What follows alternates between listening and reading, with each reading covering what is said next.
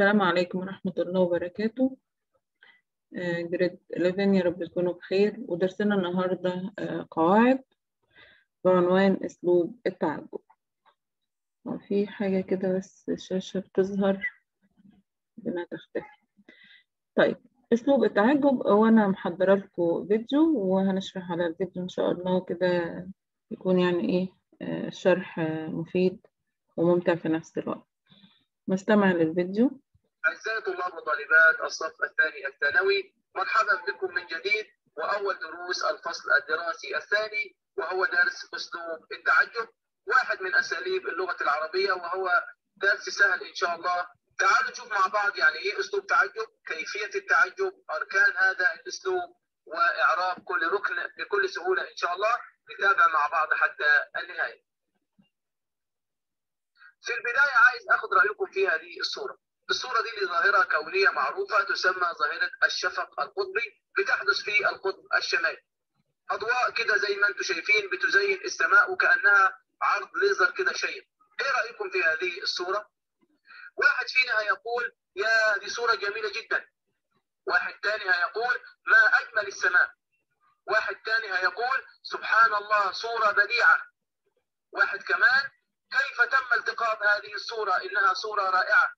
هذه الصورة الجميلة أثارت الدهشة والتعجب في نفوسنا فكل منا عبر عن هذا الاندهاش بهذا الجمال بطريقة معينة طب إيه رأيكم في هذه الصورة؟ صورة لمصنع بتخرج منه سحب الدخان والتلوث والغازات بشكل رهيب جدا حد فينا هيقول لا حول ولا قوة إلا بالله إيه كمية التلوث دي؟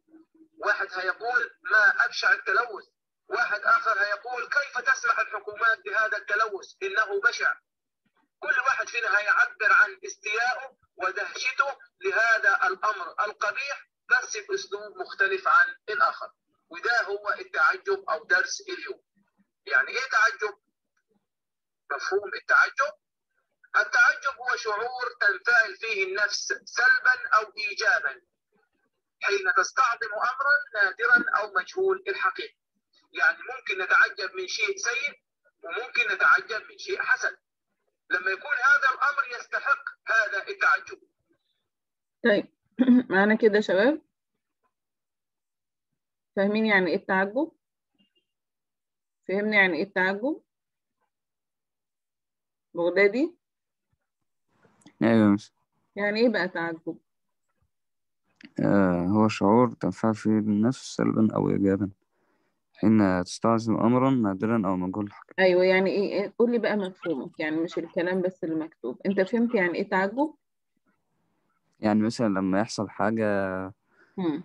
وبيكون لنا ردة فعل متعجبين إنها حصلت يعني آه يعني لما تشوف حاجة كده وتقع في نفسك سواء أنت آه، معجب بيها أو حاجة أو بتستغرب. يعني بتستغربها فبتتعجب صح كده يعني أسلوب صح. التعجب ده بنقول بنستخدمه آه، لما نيجي نندهش أو نستعظم صفة في شيء ما.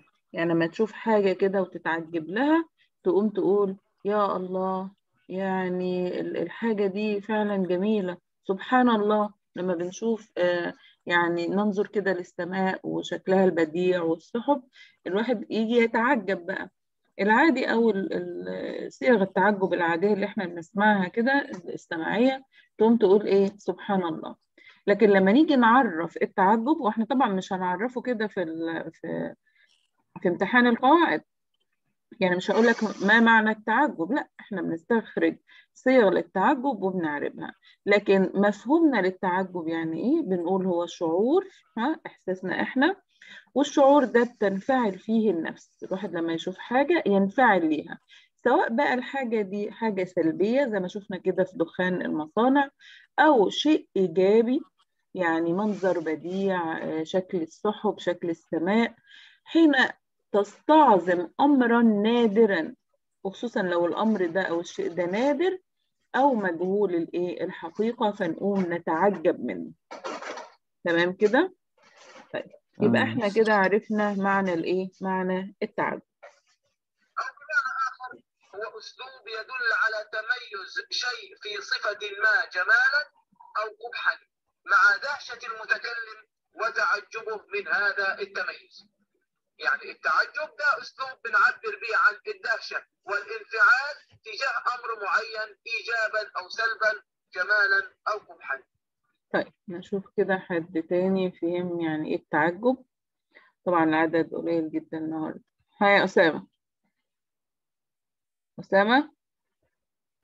يا يوسف إزيك يا أسامة؟ أخبارك إيه؟ الحمد لله تمام الحمد لله فهمت يعني إيه التعجب؟ الدرس اللي أيوة. إحنا بندرسه النهارده ده درس قواعد اسمه التعجب يعني إيه التعجب يا أسامة؟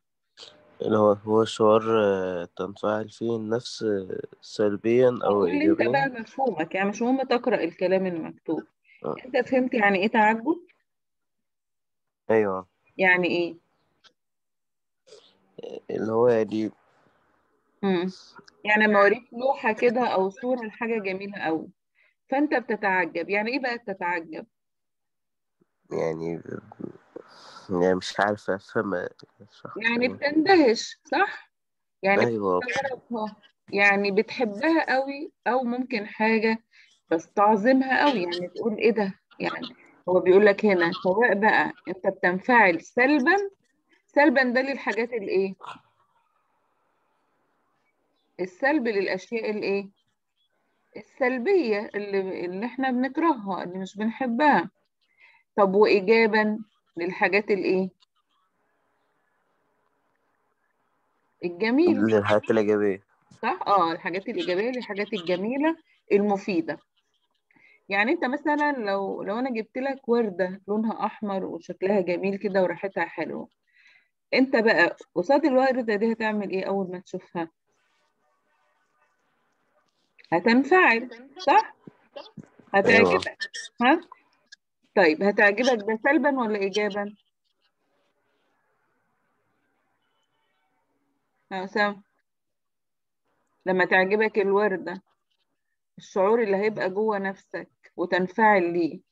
تنفعل بالسلب يعني هات حاجة تعجبك ولا حاجة مش هتعجبك؟ ده حاجة سلب تعجبني آه يبقى بالإيجاب صح؟ يبقى أنت هتنفعل ليها ايجابا هتقول إيه بقى؟ أول ما تشوف الوردة وعايز تعبر كده بال- بالتعجب هتقول إيه؟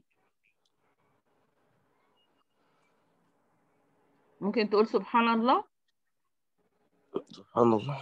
آه. أو تقول إيه ده؟ ال ال الوردة دي جميلة قوي صح؟ آه. طيب. ماشي يا أسامة شكرا ليك. طيب يبقى إحنا كده النهاردة يا جماعة اتعرفنا على مفهوم التعجب. بنقول التعجب هو شعور ها إحساسك أنت آه، اللي بتنفعل فيه النفس سواء بالسلب يعني الأشياء السلبية أو بالإيجاب الأشياء الإيجابية الجميلة اللي فيها نفع آه، يعود على الإنسان. حين تستعظم أمرا م- نادرا يعني لما نشوف حاجة نادرة الحدوث كده حاجة جميلة قوي أو تكون حاجة مجهولة الحقيقة بالنسبة لنا إحنا مش عارفينها إيه هي إيه فننفعل بالإيه بالتعجب. هو بيعرفه بطريقة تانية وبيقول هو أسلوب يدل على تميز شيء في صفة ما بس هو مش أسلوب تفضيل. إحنا بنتكلم في التعجب وليه صيغ معينة وده غير التفضيل هناخده في حصة جاية إن شاء الله. يبقى بنقول هو أسلوب يدل على تميز شيء في صفة ما. طيب التميز ده هيكون عن طريق إيه؟ جماله مثلا آه. أو العكس أو القبح. يعني إن هو حاجة مش جميل مع دهشة المتكلم وتعجبه من هذا التميز. ينفعل يقول سبحان الله إيه ده؟ إيه الحاجة دي اتعملت إزاي؟ فيستغربها. يندهش ليها أو يستغربها يعني بيتعجب منها. طيب إيه هي الصيغ التي نستخدمها للتعجب؟ إحنا من شوية كل واحد فينا عبر عن الصورة الجميلة والصورة القبيحة بأسلوب معين يدل على الدهشة والانفعال وهي دي صيغ التعجب. فأنواع صيغ التعجب إما أن تكون سماعية غير قياسية وإما أن تكون قياسية. سماعية يعني مسموعة من كلام العرب ليس لها ضابط تفهم من مضمون الجملة، أما القياسية فدي لها قاعدة يمكن أن نطبق عليها ونصوغ عليها الأفعال حتى تصبح أفعال للتعجب. أول شيء الصيغ السماعية دي لا حصر لها ولكن تفهم من مضمون الجملة. مثل قولنا لله در لله دره فارسا لله دره شاعرا. هذه الجملة تدل على التعجب. سبحان الله. لا حول ولا قوة إلا بالله. كيف تكفرون بالله؟ كل هذه الأساليب سواء كانت أساليب استفهام أو أساليب نفي هذه الأساليب إذا كانت مفهومة من سياق الجملة أنها تدل على التعجب تسمى أساليب تعجب لكنها سماعية. طيب. يعني هنا تاني إحنا بعد ما تعرفنا على آه، مفهوم التعجب بنقول التعجب ده ليه صيغتين يعني أو آه، ليه نوعين يا إما آه، صيغ التعجب بتكون سماعية بنقول يعني إيه سماعية؟ يعني ملهاش قياس أقدر أقيس عليه يعني زي ما شايفين كده آه، هي جمل إحنا سمعناها عن الإيه؟ عن آبائنا أو أجدادنا أو الناس المحيطين بينا لما يشوفوا حاجة مثلا شايفين فارس يوم يقولوا له إيه لله ضره طيب هل دي لها قياس؟ يعني أقدر أوزنها؟ لا ما ملهاش قياس. أما أشوف حاجة جميلة قوي وأتعجب منها وأقول سبحان الله هل لها قياس؟ لا ملهاش قياس. لا حول ولا قوة إلا بالله يعني أنا أرجع الأمر كله لله. كيف تكفرون بالله؟ استفهام. إحنا شايفين الأربع آه، صيغ اللي قدامنا ما يشبهوش بعض. هم جاءوا فقط في إيه؟ في معرض التع- التعجب أو في شكل الإيه؟ التعجب. لكن بنقول هذه الصيغ سماعية. يعني إيه سماعية؟ يعني مش قياسية. برضو يعني إيه؟ يعني إحنا سمعناها ها بالتواتر لكن ملهاش صيغة محددة. يبقى تاني إحنا تعرفنا على التعجب وقلنا إن هو نوعين صيغ التعجب نوعين يا إما سماعية يا إما قياسية. حد يقول لي بقى؟ حسن جودة. حسن؟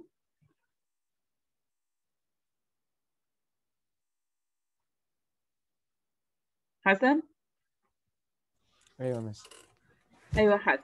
إحنا هنا بنقول أنواع أسلوب الإيه؟ التعجب. خدنا أول نوع اللي هو اسمه إيه؟ سماعي. السماع. يعني يعني إيه سماعي يا حسن؟ آه.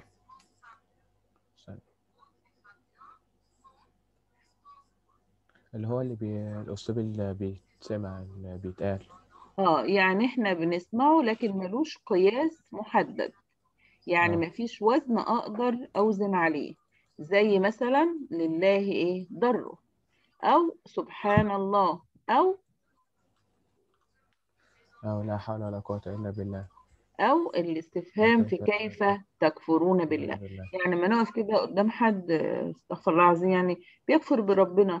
فإحنا يعني متعجبين من الموقف ده. إزاي تكفر بربنا سبحانه وتعالى وهو الخالق وهو المدبر؟ يبقى أنت بتتعجب بصيغة الإيه؟ بصيغة استفهام. تمام؟ يبقى كل دي أساليب آه، للتعجب لكنها إيه يا حسن؟ آه. سماعية. سماعي يعني أنا لما أجيب لك الصيغة دي وأقول لك هل هي سماعية ولا قياسية هتقول لي لا دي سماعية. عشان إحنا بعد شوية هناخد الصيغ الإيه؟ القياسية. بس سماعية زي لله ضره سبحان الله لا حول ولا قوة إلا بالله كيف تكفرون بالله؟ هنتعرف بعد شوية على الصيغ الإيه؟ القياسية. أما الصيغ القياسية فإحنا عندنا صيغتين اثنين ما فيش غيرهم اللي هي ما أفعله وأفعل به. ودي اللي هندرسها بالتفصيل ونعرف كيفية التعجب من هاتين الصيغتين. ومن هذا التقسيم يمكن أن يأتي سؤال في الامتحان يأتي لك بصيغة تعجب ويطلب منك هل هذه الصيغة سماعية أم قياسية؟ بكل بساطة إذا وجدت الصيغة على وزن ما أفعله أو أفعل به الضمير هنا بيرمز للمتعجب منه اللي بيكون في الجملة فهذه صيغة تعجب قياسية. أما إذا وجدت أي صورة أخرى سواء أسلوب نداء تعجبي، أسلوب استفهام تعجبي، أي جملة من هذه الجمل فهذا أسلوب تعجب سماعي. طيب يعني تاني كده شباب إحنا آه اتكلمنا دلوقتي عن إيه؟ عن التعجب وإيه؟ آه أنواعه. بنقول أسلوب التعجب يا إما سماعي يا إما قياسي. سماعي يعني سمعناه بالتواتر عن العرب عن الناس المحيطين بينا آه ليس له قياس محدد يعني ملوش وزن محدد. زي إيه؟ زي الصيغ اللي قدامنا كده لله ضره سبحان الله لا حول ولا قوة إلا بالله كيف تكفرون بالله؟ عندي النوع الثاني من أنواع أسلوب التعجب إنه يكون قياسي. وبيقول لي يعني إيه قياسي؟ يعني في وزن محدد أقدر أقيس عليه. طيب القياس هنا أو الأوزان المحددة مفيش غير صيغتين فقط هم اللي أقدر أصيغ عليهم التعجب. ما أفعله وإيه؟ وأفعل به. ما أفعله وأفعل به. يبقى دول الصيغتين القياس. والتاني ده اللي خدناه في الأول ده سماعي. يبقى تاني بنقول إيه الفرق بين القياسي والسماعي؟ ماشي يا جماعة أنتوا بس تلاتة فأنا كده هبقى مركزة معاكم قوي يعني. آه بغداد. أيوه بغداد إحنا بنقول أنواع أسلوب التعجب. تقدر تفرق بينهم؟ آه، حافظ السماعي اللي هو له كذا صورة مم. زي ال- لا ضر سبحان الله لا حول ولا قوة إلا بالله. كيف تكفرون بالله تكفرون بالله. وفي النوع- اللي هو القياسي بيبقى صورتين بس ما أفعله وأفعل به. هو مش موضوع بس إن ده يعني كتير وده آه، صيغتين فقط لكن ده إحنا سمعناه ملوش إيه؟ ملوش وزن محدد. صح كده؟ السماعي ليس له وزن إيه؟ محدد أو صيغة محدد. محددة. لكن القياسي ليه صيغتين محددتين اللي هم إيه؟ ما أفعله وأفعل. به آه. يعني أنا لما أقول لك آه، فرق بينهم لو أنت شفتها بالشكل ده هتقول لي ده سماعي. لله ضره آه، سبحان الله هتقول لي ده إيه؟ سماعي سمعناه على العرب. طب لما أقول لك بقى هات لي آه، أسلوب تعجب قياسي. فأنت لازم تجيبه على إيه؟ ما أفعله وأفعل إيه؟ وأفعل به مفيش غير الصيغتين دول ال- القياسي اللي أقدر أقيس عليه. شكرا يا بغداد كتر خير. ما فهمت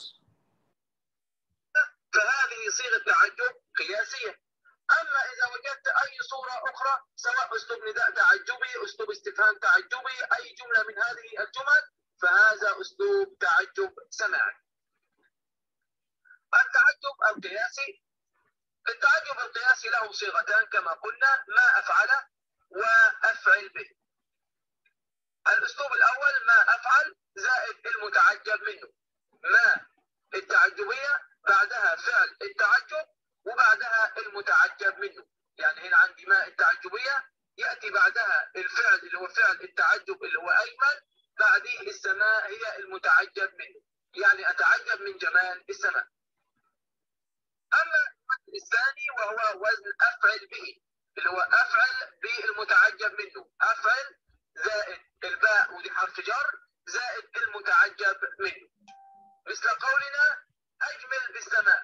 أجمل ده فعل التعجب بعديه الباء دي حرف جر زائد وبعديه السماء اللي هي المتعجب منه. يبقى تاني كده يا جماعة قبل ما ندخل على الإعراب إعراب الصيغ بنقول إحنا عندنا في التعجب القياسي يعني الصيغتين اللي بقيس عليهم ما أفعله وإيه؟ وأفعل به. ما أفعله وأفعل به. ما أفعله زي ما أقول كده ما أجمل الإيه؟ السماء. طيب آه، أفعل به أجمل بالإيه؟ بالسماء. يبقى تاني ما أفعل أو أفعله ما أجمل السماء. أفعل به أجمل بالإيه؟ بالسماء. دول ال- الصيغتين القياسيتين اللي أقدر أقيس عليهم. أو آه، أنا بجيب مثلا جملة وأقول لك استخرج منها أو هات منها الإيه؟ أسلوب صيغة لأسلوب التعجب. الصيغة طبعا زي ما قلنا قياسية. هنا قياسية وليست سماعية. سماعية زي ما قلت سبحان الله. لكن القياسية مفيش قدامي غير الاتنين دول الصيغتين دول. ما أفعل وإيه؟ وأفعل به. طيب بيقول لي ما هنا هي التعجبية وأجمل آه، دي ده آه، فعل الإيه؟ آه، التعجب والسماء هنا هو المتعجب منه. في الصيغة الثانية أفعل به يعني أجمل ده فعل التعجب والباء دي حرف جر زائدة والسماء هنا هي المتعجب منه. تمام كده؟ فلو وجدت في الجملة وزن ما أفعل والمتعجب منه أو وزن أفعل به والمتعجب منه فهذا أسلوب تعجب قياسي إيه إعراب هذا الأسلوب بالتفصيل؟ ده اللي هنعرفه مع بعض. أولا صيغة ما أفعله تعال نشوف مع بعض هذا المثال. ما أعظم الإسلام؟ هنا أنا أتعجب من عظمة الإسلام. هذا التركيب اللي إحنا معانا ده ممكن أعرفه بكل سهولة وإعرابه ثابت. ما تعجبية؟ مبنية على السكون في محل رفع مبتدأ. ما هنا؟ نكرة بمعنى شيء عظيم. وكأنك تقول شيء عظيم عظم الإسلام. بعد كده يأتي بعدها مباشرة فعل التعجب اللي هو أعظم. وده فعل ماضي مبني على الفتح. وفاعله ضمير مستتر وجوبا تقديره هو يعود على ما؟ كلمة الإسلام المتعجب منه دي إعرابها ثابت مفعول به منصوب وعلامة نصبه الفتحة هنا لأنه مفرد. إذا أسلوب التعجب في صيغة ما أفعل أو ما أفعله يتكون من ما تعجبية بعدها فعل التعجب بعدها المتعجب منه. والإعراب ثابت لا يتغير. طيب يبقى إعراب الصيغة الأولى ما أفعله؟ بنقول مكون من ثلاث آه حاجات. ما وعندنا هنا ما أعظم الإيه؟ الإسلام. بنقول لما نيجي نعرب ما ما لوحدها ها؟ أولا هي الصيغة دي جملة اسمية تمام؟ ليه بقى جملة اسمية؟ لأن أنا لما بعرب ما بقول دي ما دي تعجبية مبنية على السكون في محل رفع مبتدأ. خلي بالك ما هتبقى في محل رفع إيه؟ مبتدأ. الإعراب ده ثابت مش هيتغير. يعني إحنا كل مرة في الصيغة دي هنعرب نفس الإعراب. هتقول لي إن ما التعجبية مبنية على السكون في محل رفع إيه؟ مبتدأ. طيب أمال إيه الخبر بتاعها؟ اللي هو أعظم إيه؟ أعظم الإسلام. يعني الفعل والمفعول هنا هو طبعا هنا فعل وإيه وفعل. يعني بقية الصيغة هنقول إن هي في محل رفع إيه؟ يعني الجملة دي في محل رفع خبر. ليه خبر؟ لأن ما مبتدأ. يبقى تاني بقول ما تعجبية هي طبعا نكرة تعجبية مبنية على السكون في محل رفع مبتدأ. طيب وأعظم بقى بيقول لي ده فعل التعجب. ما أجي أعرف فعل التعجب؟ هو فعل ماضي. والفعل الماضي دايما مبني. هو هنا مبني على إيه؟ مبني على الفتح. ما أعظم؟ مبني على الفتح. طب والفعل ضمير مستتر وجوبا تقديره هو. يعود على إيه؟ على ما. ما أعظم هو. طب المتعجب منه هنا اللي هو آه كلمة الإسلام. لما باجي أعربها بقول ده مفعول به. وخ... ونخلي بالنا إن المتعجب منه في الصيغة الأولى دايما بعربه مفعول به. والمفعول به هنا منصوب علامة نصبه الإيه؟ الفتحة.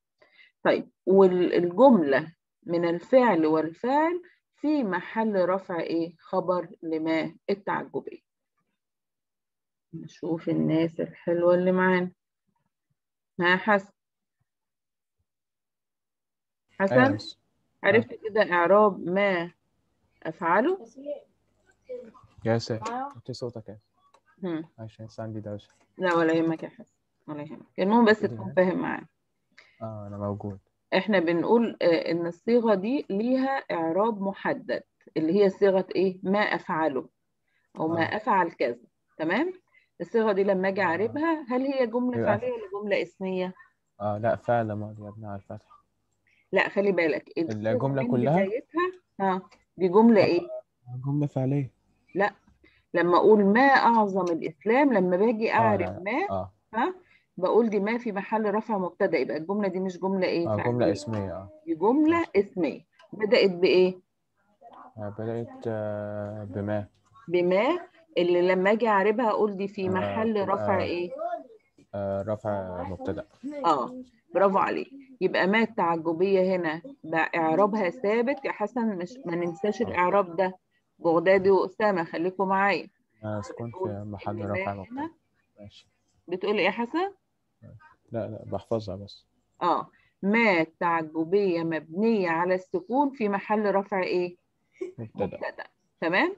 طب أمال الخبر بتاعها هيكون فين بقى؟ طالما هي في محل رفع آه، مبتدأ. اللي هو أعظم. آه أعظم أعظم هو. خلي بالك أعظم هو. الإسلام طبعا إيه؟ أعظم المفعول به بيكون آه، زيادة في الجملة يعني. لكن مم. الفعل والفاعل اللي هو أعظم إيه؟ هو أعظم ما يعني اللي من ما. أعظم هنا بيقول لي ده فعل التعجب.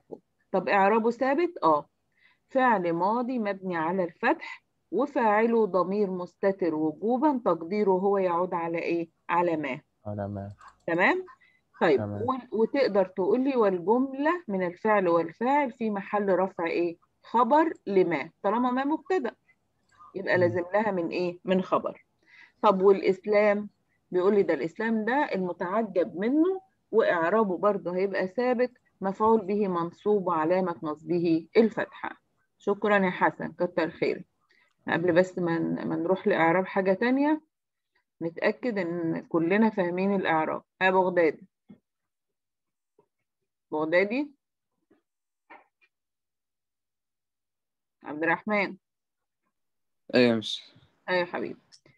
هنا تقدر تفهمني أو تشرح لي إعراب الصيغة الأولى ما أفعله؟ ما أفعله؟ إيه؟ معلش بس تاني عشان ما سمعتش معلش. إحنا بنقول الصيغة دي ليها إعراب آه، ثابت ودي صيغة قياسية نقدر نقيس عليها وليها إعراب محدد. هي جملة فعلية ولا جملة اسمية؟ ما أفعله. ما أفعله. جملة فعلية؟ إحنا لسه سائلة حسن نفس السؤال وقال لي فعلية وقلنا لا غلط مش فعلية. دي جملة إيه؟ اسمية. ليه جملة اسمية هنا بغدادي؟ لأنها بدأت بما وما دي نكرة تعجبية في محل رفع مبتدأ. يبقى ما ينفعش أقول عليها دي جملة إيه؟ دي جملة فعلية. دي جملة اسمية. معايا يا بغدادي؟ حضرتك مش يبقى لما أجي أعرب ما هنا هتعربها إيه؟ ما التعجبية مبنية على السكون في محل رفع مبتدأ. آه يا جماعة إحنا لازم نكون فاهمين الإعراب بالظبط ماشي إزاي عشان ما نغلطش فيه. هو مش مجرد بس حفظ. هي ما ما دي لما باجي أعربها ما بتكونش فعل. دي ما دي اسم. يعني ويعني هي طبعا آه، آه، حرف نكرة. لكن آه، أنا بعتبرها كأنها بتحل محل الإيه؟ الاسم اللي هو المبتدأ. فعشان كده في الإعراب بقول إيه؟ دي ما دي مبنية على السكون في محل رفع إيه؟ في محل رفع مبتدأ. ده ما دي بستخدمها للتعجب يبقى هستخدمها كأنها مبتدأ. تمام كده بغدادي؟ يبقى ما تعجبية مبنية على السكون في محل رفع مبتدأ. طيب تاني أمال الخبر بتاعها فين؟ ما هو كل مبتدأ بيبقى له خبر. فين خبرها؟ آه أعظم. أعظم آه خبرها إيه؟ أعظم. طب خبرها ده مكون من إيه؟ من فع- فعل ماضي. آه فعل ماضي مبني على الفتح وفعل أصل خلي بالك خبر الجملة لازم يكون مكون من فعل وإيه؟ وفاعل. فهنا ده فعل ماضي أعظم ده مبني على الفتح والفاعل ضمير مستتر وجوبا تقديره إيه هو. وترجع تقول لي والجملة من الفعل والفاعل في محل رفع إيه؟ نعم. خبر لمين؟ خبر ما. خبر ما. برافو عليك. طيب والكلمة الثالثة بقى اللي هو المتعجب منه إعرابها ثابت؟ آه إعرابها ثابت. دايما هعربها إيه يا بغدادي؟ مفعول به. مفعول به منصوب. علامة نصبه الفتح شكرا يا بغدادي كتر ألف خير. يبقى إحنا كده يا جماعة عملنا إيه في حصتنا النهاردة؟ إحنا بقينا ست دقايق. آه اتعرفنا على معنى أسلوب التعجب قلنا إن هو الدهشة أو الانفعال لشيء معين أو لصفة آه معينة وقلنا إن أسلوب التعجب بيبقى له صيغتين يا إما سماعية يا إما قياسية. سماعية زي سبحان الله آه، زي آه، يا له من شجاع كيف حدث هذا؟ كيف تكفرون بالله؟ كل دي صيغ سماعية بنفهمها من سياق الإيه؟ الكلام بتعبر عن الدهشة والانفعال. طب والقياسية بنقول صيغتين يا إما ما أفعله أو أفعل به. وإحنا شرحنا دلوقتي صيغة ما أفعله وقلنا مكوناتها إيه بتتكون من إيه؟ من ما وفعل وفاعل وبعدين مفعول. الجملة اللي قدامي دي أو الصيغة دي أو التركيب ده للتعجب ده تركيب آه في سياق جملة إيه؟ جملة آه اسمية. جملة اسمية مكونة من مبتدأ اللي هي ما وبعدين آه الخبر اللي هو إيه أعظم. طيب ما دي لما باجي أعربها تاني بنأكد على إعرابها. بتقول لي دي ما تعجبية مبنية على السكون في محل رفع مبتدأ. طيب وأعظم ده فعل التعجب. فعل ماضي مبني على الفتح. فاعله ضمير مستتر وجوبا. يعني يجب إن هو يكون مستتر مش ظاهر أو واضح قدامي. تقديره هو يعود على إيه؟ على ما. طيب والجملة الفعلية من الفعل اللي هو فعل التعجب والفاعل اللي هو ضمير مستتر ده في محل رفع إيه؟ خبر لما. وبعد كده بعرب المتعجب منه وهو كلمة هنا الإسلام. بعربها إعراب إعراب ثابت وهي مفعول به منصوب وعلامة نصبه الفتح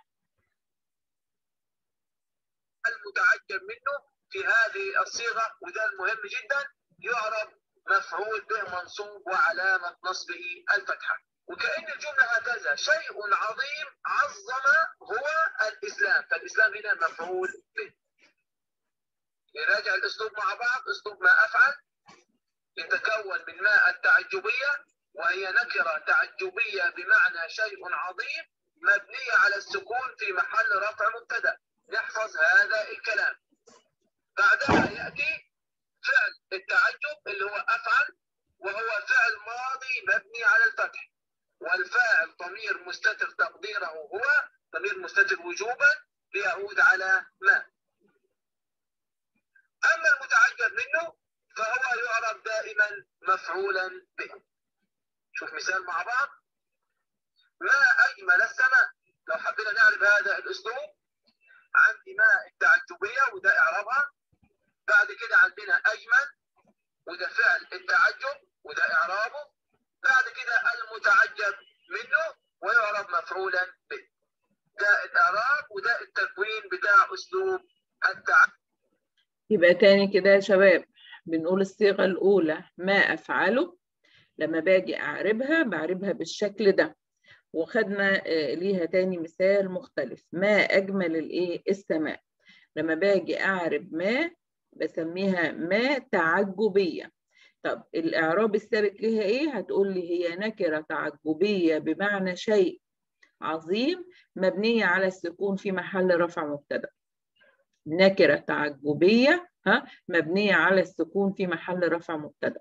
طيب وأفعل؟ ده فعل ماضي مبني على الإيه؟ على الفتح. ده فعل التعجب والفاعل ضمير مستتر وجوبا تقديره هو يعود على إيه؟ على ما. طب والمتعجب منه زي ما قلنا كده اللي هو زي كلمة السماء دي دايما إعرابها ثابت وبعربها مفعول به. وده كده إعراب الصيغة الإيه؟ الصيغة الأولى. ما أفعل. هي الصيغة الثانية هتاخد مننا وقت أطول شوية. وهنا ممكن حد يسأل ما التعجبية اللي إحنا أعربناها في محل رفع مبتدأ. برافو عليك. الخبر بتاعها جملة فعلية اللي هي جملة أجمل السماء. فعل التعجب والفاعل اللي هو الضمير المستتر مع المتعجب منه اللي هو المفعول به. هذه الجملة في محل رفع خبر. ما التعجبية مبتدأ؟ وهذه الجملة الكاملة في محل رفع خبر. ثانيا صيغة أفعل به. لو نظرنا إلى هذا المثال؟ هو إحنا ممكن نكتفي النهارده فقط بالتعجب على صيغة إيه؟ ما أفعل. ولأن الحصة خلاص هتخلص. ال sheet بتاع التعجب أو أسلوب التعجب موجود على ال SMS وهنزل لكم النهارده واجب بسيط كده بس يعني كتدريب على التعجب. طبعا لأن الحاضرين العدد عددهم قليل فإحنا هنعيد اللي شرحناه ده مرة تانية إن شاء الله وبعدين نكمل الصيغة أو إعراب الصيغة الثانية اللي هي أفعل بيه لأن زي ما قلنا أنا عندي صيغتين ما أفعله وأفعل إيه بيه اللي خدناه النهارده في الإعراب هو صيغة ما أفعله. اشوفكم على خير إن شاء الله. السلام عليكم ورحمة الله وبركاته.